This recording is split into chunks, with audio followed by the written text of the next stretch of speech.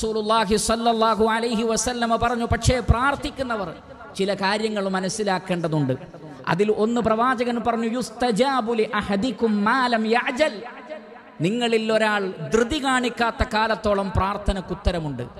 സഹാബത്ത് ചോദിച്ചു എന്താണ് അള്ളാഹുവിന്റെ റസൂലെ ധൃതി കാണിക്കുക എന്ന് പറഞ്ഞാൽ നബി സല്ലല്ലാഹു അലൈഹി വസല്ലം പറഞ്ഞു നിങ്ങളിൽ ഒരാൾ പറയലാണ് ഫലം യുസ്തജബലി ഞാൻ അള്ളാഹുവിനോട് ഒരുപാട് പ്രാർത്ഥിച്ചു. എന്നിട്ടും പ്രാർത്ഥനക്ക് ഉത്തരം കിട്ടുന്നില്ല എന്ന് പറഞ്ഞുകൊണ്ട് നിരാശപ്പെട്ട് പ്രാർത്ഥന ഒഴിവാക്കലാണത്. മറിച്ചു പ്രാർത്ഥിച്ചുകൊണ്ടേയിരിക്കണം. മരണം വരെ പ്രാർത്ഥിക്കണം. എങ്കിൽ നിങ്ങൾക്ക് ഉത്തരമുണ്ട്. ആ ഉത്തരം എങ്ങനെയാണ് ദുനിയാവിൽ തന്നെ കാണുമെന്ന് നിർബന്ധമുണ്ടോ?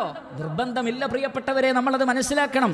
റസൂലുള്ളാഹി സ്വല്ലല്ലാഹു അലൈഹി വസല്ലം പറയുന്നത് മാ മിൻ മുസ്ലിമിൻ യദ്ഉ ലൈസ ഫീഹാ ഇസ്മുൻ വലാ ഖതീഅതു റഹ്മിൻ ഇല്ലാ അഅതാഹു ബിഹാ മിൻ ഇഹ്ദാ സലാസ്. ഒരു മുസ്ലിമായ അടിമ അള്ളാഹുവിനോട് പ്രാർത്ഥിച്ചാൽ ഒരു പാപത്തിനു വേണ്ടിയല്ല ഒരു ഹറാമായ കാര്യത്തിന് വേണ്ടിയല്ലെങ്കിൽ കുടുംബബന്ധം മുറിക്കുന്ന വിഷയമല്ലെങ്കിൽ നിങ്ങൾ പ്രാർത്ഥിക്കുന്ന വിഷയം ഹലാലാണെങ്കിൽ അള്ളാഹു സുബാനോ തല മൂന്ന് കാര്യങ്ങളിൽ ഏതെങ്കിലും ഒന്ന് നൽകും. അതിൽ ഒന്ന് ഇമ്മ. എന്താണോ പ്രാർത്ഥിച്ചത് ആ പ്രാർത്ഥനക്കുള്ള ഉത്തരം ഉടനെ തന്നെ ലഭിക്കും. ആവശ്യപ്പെട്ടത് കിട്ടും അതാണൊന്ന്. എന്നാൽ അത് മാത്രമാണോ? അല്ല രണ്ടാമത്തത് ശ്രദ്ധിക്കുക. ഇമ്മ അൻ പരലോകത്തൊരു പ്രതിഫലമായി ഒരു ഇബാദത്ത് എന്നുള്ള നിലയ്ക്ക് അതിന്റെ പ്രതിഫലവും പരലോകത്ത് അതിനേക്കാൾ മെച്ചപ്പെട്ടത് ദുനിയാവിൽ ചോദിച്ചതിനേക്കാൾ മെച്ചപ്പെട്ടത് പരലോകത്ത് ഒരുക്കി വെക്കും. അപ്പോൾ അത് ദുനിയാവിൽ കിട്ടില്ല എന്നർത്ഥം. പരലോകത്താണ് കിട്ടുന്നത്. എന്നാലും അത് പ്രാർത്ഥനയുടെ ഉത്തരമാണ്. അത് പ്രാർത്ഥനയുടെ ഉത്തരമാണ്. മൂന്നാമത്തത് അതും ശ്രദ്ധേയമാണ്. സൃഷ്ടികൾക്ക് മനസ്സിലാക്കാൻ പറ്റാത്തൊരു കാര്യമാണത്. വ അൻ യസ്രിഫ അൻഹു മിസ്ല മിനസ്സൂഇ മിസ്ലഹു.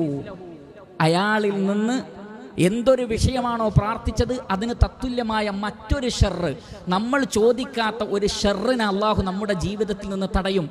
ഒരു പരീക്ഷണത്തെ നമ്മുടെ ജീവിതത്തിൽ നിന്ന് തടയും. രാവു പകൽ ഒരുപോലെ നമ്മൾ ജീവിച്ചുകൊണ്ടിരിക്കുന്നു. പല കാര്യങ്ങളിലും ഏർപ്പെട്ട് ഏർപ്പെട്ടുകൊണ്ടിരിക്കുന്നു.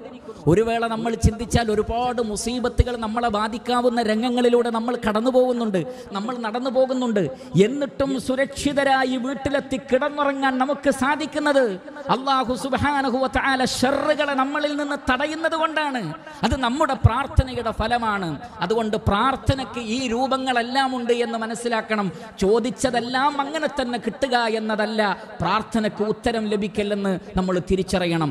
അതുകൊണ്ട് റഹ്മാനായ റബ്ബ് ഉത്തരം നൽകുമെന്ന ഉറപ്പോടുകൂടി നമ്മൾ ദുആ ചെയ്യണം. നിങ്ങൾ റബ്ബിനോട് പ്രാർത്ഥിക്കുമ്പോൾ ഉത്തരം കിട്ടുമെന്ന ഉറപ്പോടുകൂടിയായിരിക്കണം നിങ്ങൾ ദുആ ചെയ്യേണ്ടത്. ഇന്നല്ലാഹ ലാ യസ്തജീബു ദുആഅൻ മിൻ ഖൽബിൻ ഗാഫിലിൻ ലാഹിൻ. അല്ലാഹു സുബ്ഹാനഹു വ തആല അശ്രദ്ധമായ ഹൃദയത്തോടുകൂടി ദുആ ചെയ്താൽ ആ ദുആ സ്വീകരിക്കുകയില്ല. മനസ്സാന്നിധ്യത്തോടുകൂടി ഉത്തരം കിട്ടുമെന്ന ഉറപ്പോടുകൂടി ദുആ ചെയ്താൽ ആ ദുആക്ക് ഉത്തരമുണ്ട്. അതുകൊണ്ട് റഹ്മാനായ റബ്ബിനോട് പ്രാർത്ഥനകൾക്ക് ഉത്തരം കിട്ടുന്ന സമയങ്ങൾ ഉപയോഗപ്പെടുത്തിക്കൊണ്ട് പ്രാർത്ഥിക്കുക. നമസ്കാരത്തിലെ സുജൂതിലും തശഹുദിലും രണ്ട് ബാങ്കുകൾക്കിടയിലും രാത്രിയുടെ അവസാനയാമത്തിലും മറ്റ് പ്രാർത്ഥനയ്ക്ക് ഉത്തരം കിട്ടുന്ന സന്ദർഭങ്ങളിലും റഹ്മാനായ റബ്ബിനോട് മനസ്സാന്നിധ്യത്തോടുകൂടി നമ്മൾ പ്രാർത്ഥിക്കണം. ആദ്യം അള്ളാഹുവിനെ സ്തുതിക്കണം. പിന്നീട് റസൂലുള്ളാഹി സല്ലാഹു അലൈഹി വസല്ലമയുടെ മേൽ സ്വലാത്തു ചൊല്ലണം.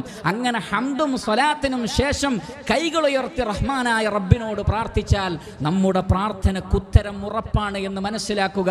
അള്ളാഹു സുബാനഹു നാം ഏവരെയും അനുഗ്രഹിക്കുമാറാകട്ടെ.